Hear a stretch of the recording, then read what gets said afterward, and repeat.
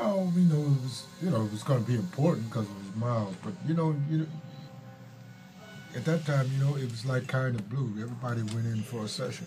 It was just a you know, it was a session, and that was it. And nobody knew. Fifty years later, that kind of blue is still the biggest selling record of Miles. Um, so again, you know, I think Miles was aware of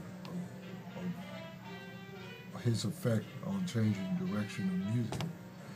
But at the, po- that point, he was in a in a work in progress, like being in the studio every day, trying different things. You know, actually really working off of grooves, not a lot of complicated uh, written music. And uh, Teo Macero, his producer, was. Uh, um, you know, his partner in editing that and putting it together.